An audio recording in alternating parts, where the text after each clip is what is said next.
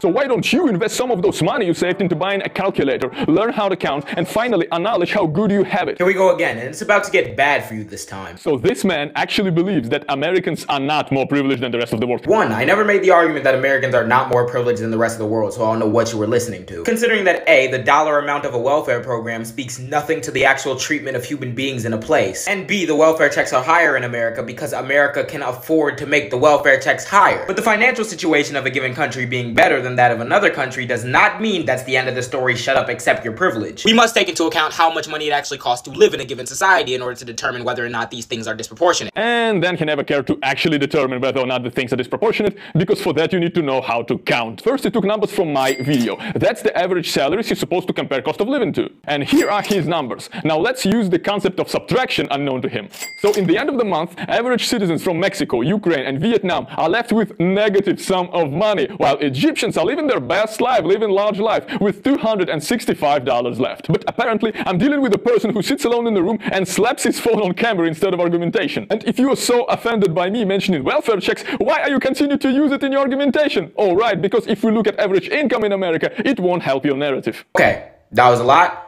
Now this shit's about to get crazy. Like I stated before, you fundamentally misunderstood what I said. United States GDP per capita is $70,248. Egypt's GDP per capita is $3,698. Of course the United States is gonna have welfare checks at 600 plus dollars, and if Egypt tried to do the same, it would be unsustainable economically. But again, that does not mean that people in America just have no problems and need to shut up and accept their privilege. And the fact that you try to make this argument for black Americans in particular is fucking hilarious. But here, I've done the job for you. Any you want. Average income in USA, average salary, median income by age. Subtract your cost of living from any of those. Would you have a negative sum? No, you wouldn't. Now, let's break everything down. Let's take a look at those sources you cited. Starting with this one, worlddata.info. This source is calculating the average gross annual wage per full-time employee in the United States. Keep that in mind. Now, this source talks about average salary, setting at 6,228 per month. If you're an American and your alarm bells aren't ringing right now, they should be. Now let's look at this source from First Republic. They're pulling from data from the Bureau of Labor Statistics that's talking talking about median usual week earnings for full-time wage and salary workers. Now you may be wondering why I'm drawing distinctions between the terms I'm using.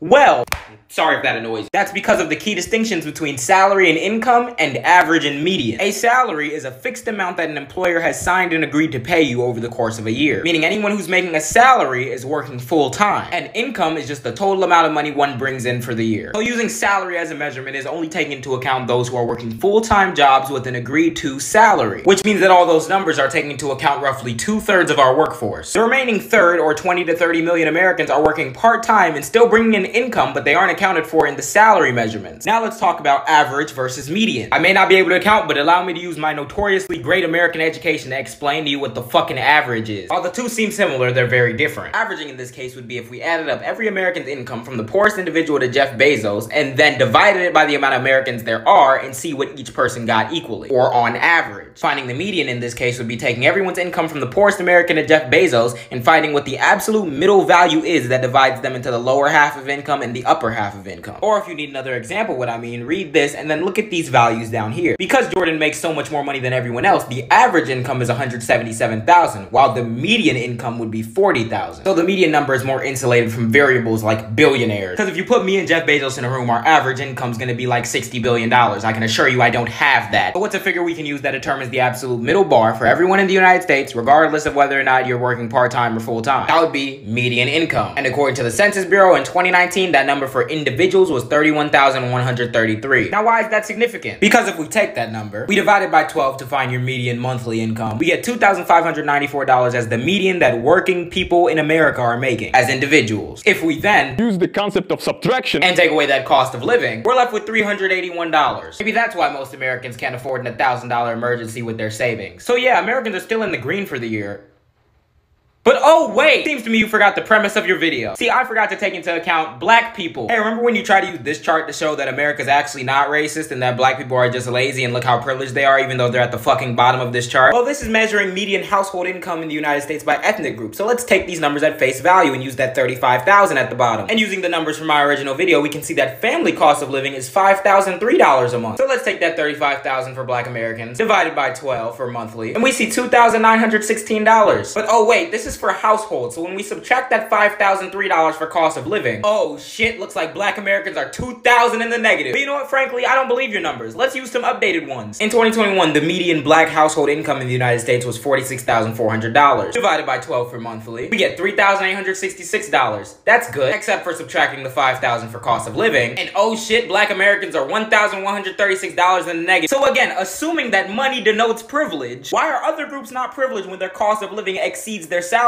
but black Americans still are somehow? But his next argument is just golden. Hence why Oppression Olympics is a dumb game to play. Dumb game to play, my man? Look who's talking. You Americans created the Oppression Olympics, victimizing your black population to the unimaginable levels of absurdity. Notice how you didn't play anything I said before that part? You know, like when I directly asked you, would you consider those Middle Eastern refugees privileged compared to a Southeast Asian kid who's gonna die in the same village under piles of trash? And how that's the very reason why Oppression Olympics are dumb to play because at this point you're just going to be finding the one person who can lay claim to the most oppression and then everybody else has to shut up about their problem. Because it is both possible to be born an American, which comes with a lot of privileges, and also be treated like shit in America. Much in the same way that just because the kid in the hypothetical that I mentioned has it worse off than the Middle Eastern refugee, that doesn't mean that the Middle Eastern refugees should shut up and never complain about their treatment. That's how we got Black Cleopatra and Queen Charlotte in the first place. Black Greeks and Black Scandinavians. That's your whole game. We wouldn't care about your whole existence if you wouldn't force it on us. If you stopped culturally appropriating other countries' history. If you stopped stealing from it. Oh, oh, okay. So you got ass mad that they casted a biracial black woman to play a queen whose race is ambivalent considering that race in today's society is completely different than race in Cleopatra's time, then decided that there's an epidemic of black cultural appropriation, even though we hear fucking nothing from y'all when white people do the same shit, and then work backwards from your conclusion to try to prove how privileged black people are, and that's why they feel like they're entitled to everybody's culture. Sorry, bucko, I don't give a fuck about a Netflix docudrama. I could hit you over the head for 30 years about citations over systemic racism, but you probably aren't gonna listen to them, nor do I feel like it at this point. Because have you ever stopped to consider that maybe, just maybe, the deleting or erasure or whitewashing of an entire culture in America is probably the reason why many black Americans grow up with mythologized figures of power that they like to tie themselves to? Nevertheless, no matter how much backflipping and